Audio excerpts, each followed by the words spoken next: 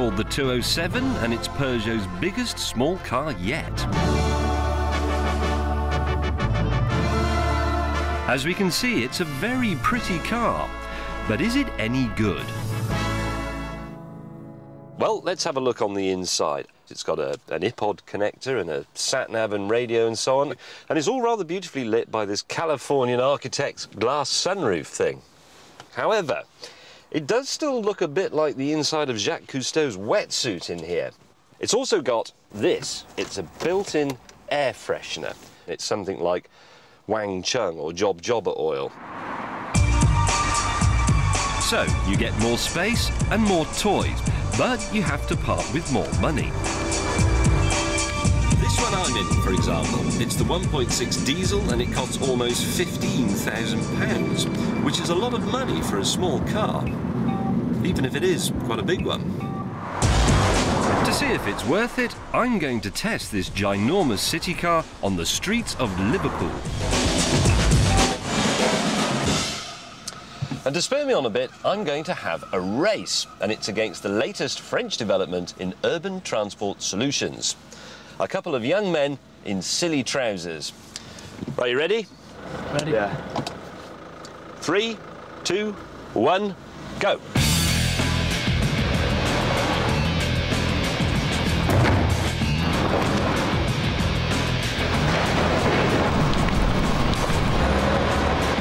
I should probably explain that these are not just any young men. They are masters of something called parkour. It's a French invention and involves that sort of thing. Running around the city, leaping across buildings and benches. You know, keeps them off the street.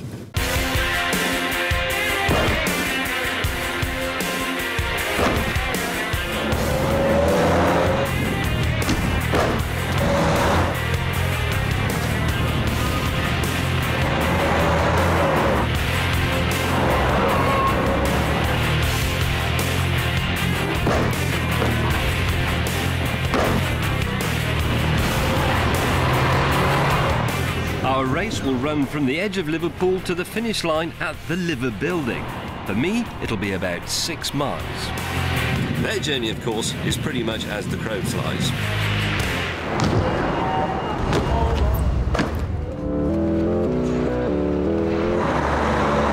What am I doing? Ooh, 25 miles an hour. They'll have difficulty matching that.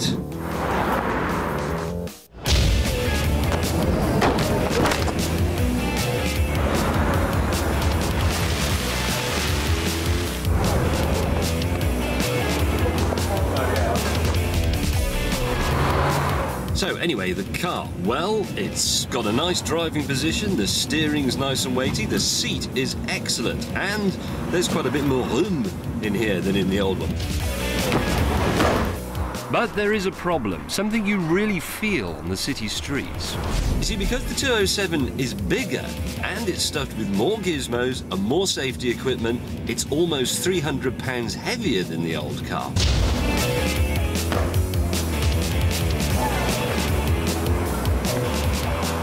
And yet, it still has to haul itself around with the same engines as the 206. The car I'm in has the 1.6 diesel, the best of the current range. But it's still not great. It's really sluggish low down, and that's annoying.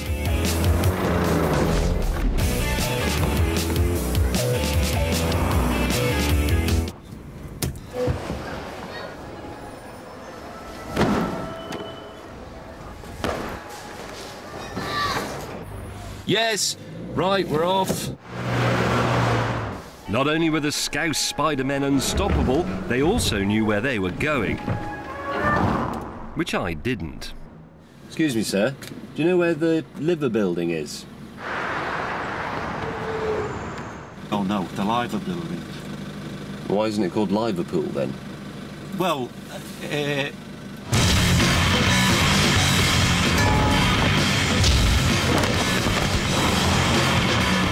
There they are. Look at that, they look as if they've nicked something. But I didn't catch them for long. Oh, please. Meanwhile, the air freshener device was getting up my nose. That's great. You can buy a brand new car and they immediately make it smell like a 25 year old minicab.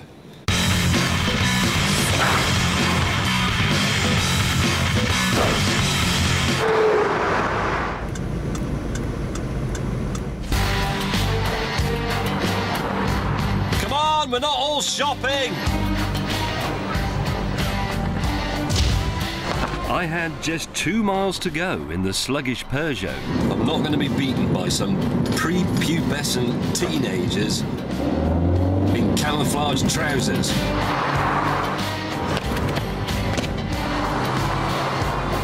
I must have averaged 10 or 12 miles an hour. I should win.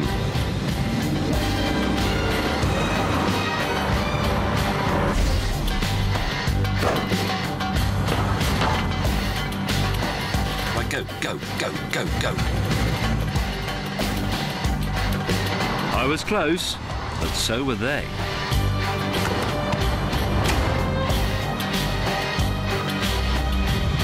Come on!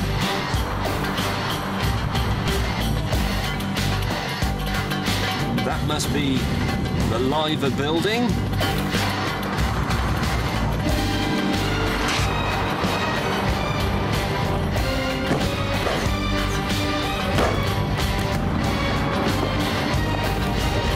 And they're not here. They are not here. No sign of combat trousers, man. That is a victory for beer guts over washboard stomachs, fashionable clothes from army surplus shops, stupid expensive traders. Here I am in my tatty jeans and my old biffaback shoes with the broken laces, and I've won!